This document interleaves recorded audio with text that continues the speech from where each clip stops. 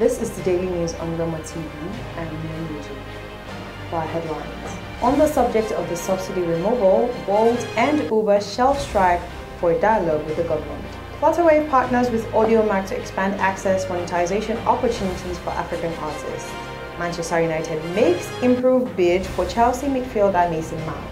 BB Titans winner Khosi voices concern over delayed price move. Let's take a short break and we'll be right back.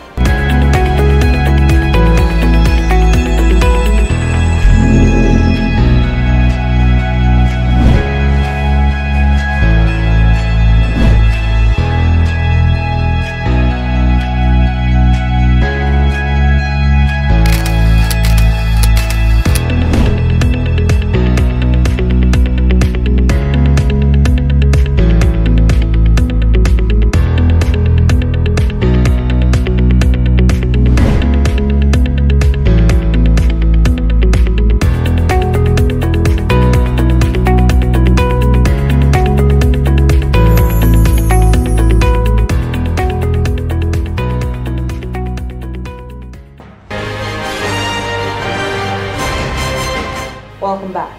To the news in full. Today, the Amalgamated Union of App-Based Transport Workers of Nigeria suspended its planned indefinite strike to allow for dialogue with the government. This is contained in a statement by Justy Olawale, the Chairman, Media and Publicity Committee of the Union. Olawale said the meeting was scheduled for June 26 to allow for dialogue. He said the meeting would involve the Ministry of Labour and Employment the app-based companies that is Uber and Bolt and the union.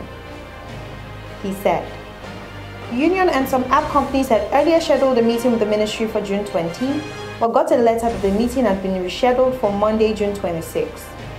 The chairman expressed dismay over the challenges facing workers since the fuel pump price increased by 300%. End of quote. According to him, the increase has impacted negatively on workers' service delivery. Africa's leading payment technology company Flutterwave has announced a strategic partnership with music streaming and discovery platform Audiomack. This collaboration enables Audiomack to provide premium music experiences and unlock new features for its customers and artists for a fee. With a strong presence in almost 54 countries on the African continent, Audiomack has become the go-to platform for artists, tastemakers, labels, and fans seeking to explore and share music from diverse African cultures. As Audiomack enters its next growth phase across Africa, the partnership with Flutterwave brings seamless and secure payment processing capabilities to its users. This collaboration will enable Audiomack to offer more payment modes like bank transfers, local cards, and mobile money native to African users, making the platform accessible to a broader audience across the continent. On sports, Chelsea has received a new improved offer from Manchester United worth up to £50 million for midfielder Mason Mount. Mount's contract at Chelsea expires in a year, although negotiations to extend it have not yet resulted in a successful resolution. Mount, a graduate of the Chelsea youth, has since played 195 club games and scored 33 goals since making his first team debut in 2017. The England international wants to leave Chelsea this summer and Manchester United are currently looking for the right price for the midfielder. They have made a new improved offer to Chelsea as they await response from the Blues. On entertainment, the winner of the first ever season of Big Brother Titans, Makozani Twala, better known as Khosi, has raised concerns over the delay of her prize money.